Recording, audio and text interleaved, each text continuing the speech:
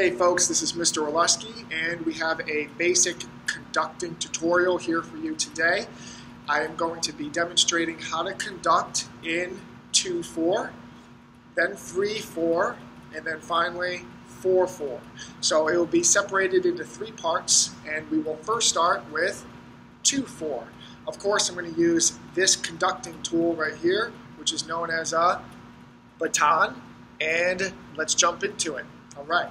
Okay, first things first, we need to know how to stand, which is obviously going to be with your feet being at shoulder width apart. Okay, your feet line up with your shoulders, standing up straight, and then you're bringing up your hands in a relaxed position. You don't want your hands to be out like this or have your arms too far back in this manner. Okay, so it needs to be relaxed. Just shake out your arms and then bring up your arms like this. Okay? Now, if you do not have a baton, then you can use a pen or a pencil. That will be fine. And it needs to go into your right hand. Never put the baton in your left hand. Um, it is kind of like holding the instrument a certain way. No matter if you're right handed or left handed, conductors hold the baton in their right hand. Okay? And how you will hold it would be uh, taking your index finger and thumb. At the end of your pencil or pen, it will be about an inch, and then you grip, not too tight, and then just wrap your hands around like this, and then your palm is facing down. Okay, so now that you're holding your conducting tool, stand again, shoulder width apart, bring up your hands in a natural position, and the baton should meet your other hand. So see how I can touch the end like this? That means you're having a kind of like a little circle. Okay, so bring it down and up. Good. Now, how high or how low? Well, what you're going to do is I like to go right next to my heart, okay, in the middle of my chest, and that's where the point is going to be. All right? So, about right here. Not up here, not down here, right here. And boom. Okay. And there you go. So that is how you set up.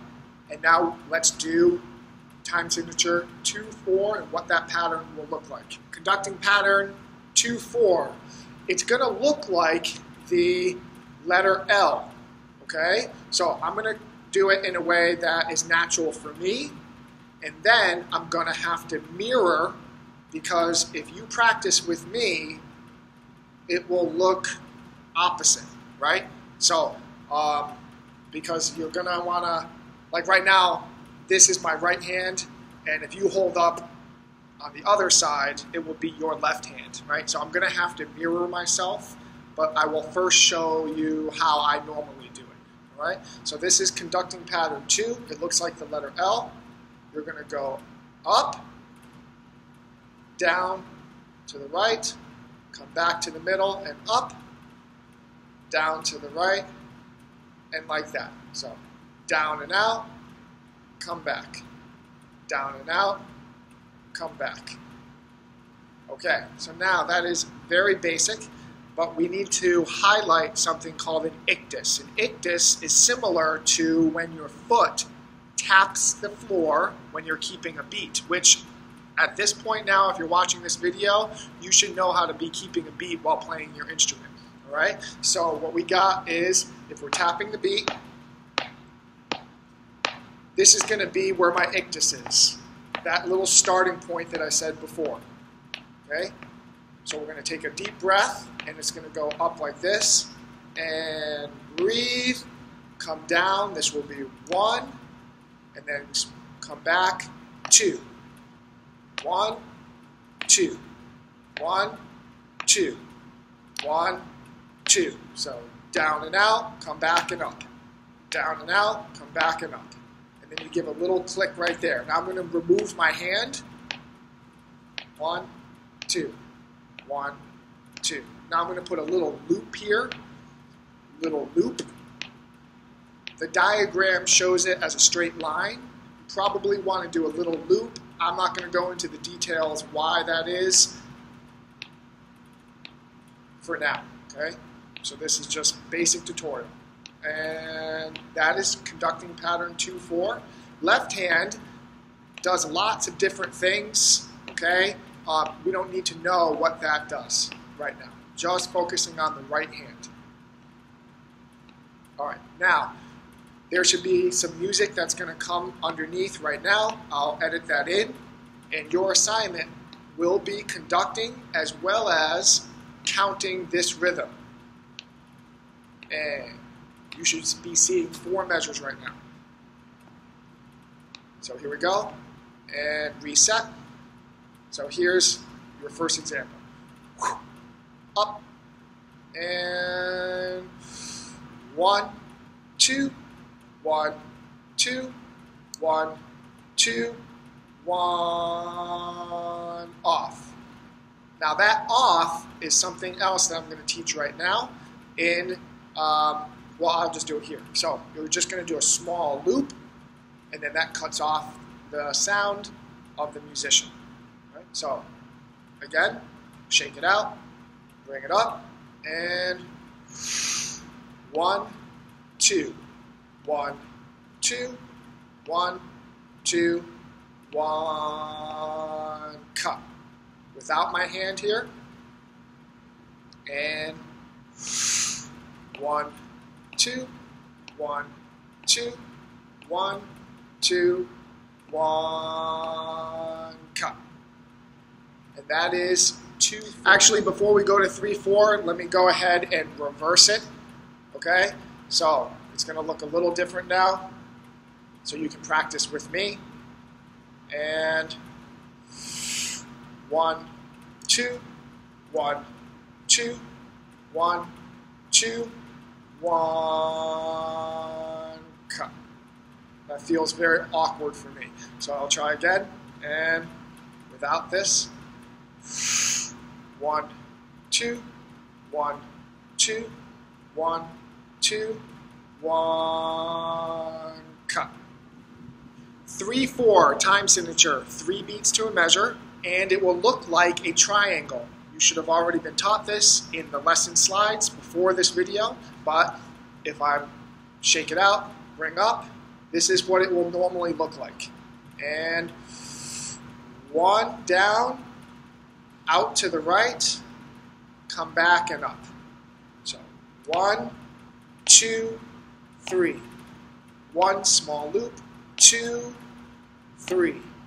Without the hand here, two, three. One, two, three. Here's the music here at the bottom. And one, two, three, one, two, three, one, two, three, one, cut. Switch it. I'm going to mirror now. And slowly, here we go. And breathe up. One.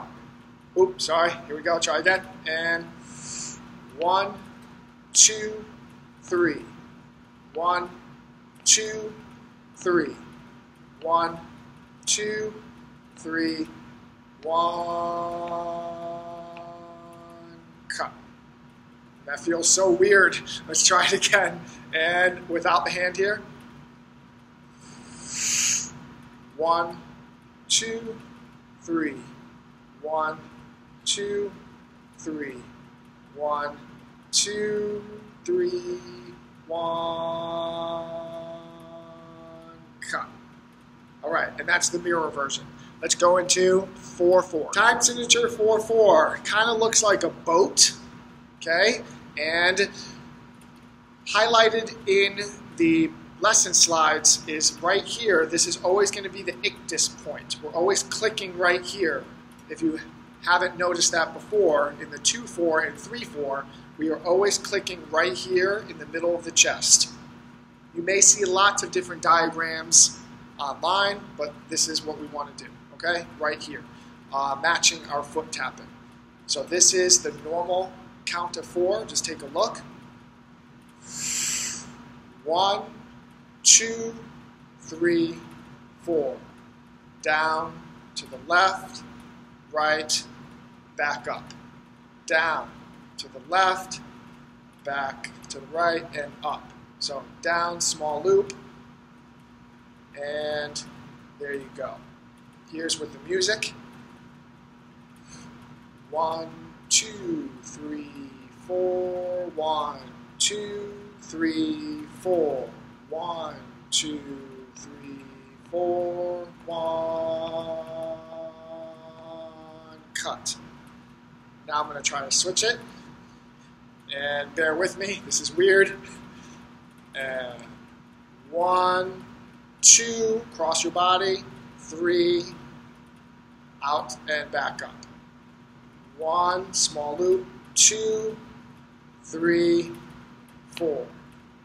One small loop here, so you can get ready to go across your body. So one, two, three, four. One, two, three, four. Remove my hand. One, two, three, four. One, two, three, four. With the music now. Music, okay? One, two, three, four. A little quicker. One, two, three, four. One, two, three, four. And one. Cut. So this feels so weird. Remember, this is the mirror side. So typically, I would be holding it in my right hand. All right, I just want you to be able to practice with me.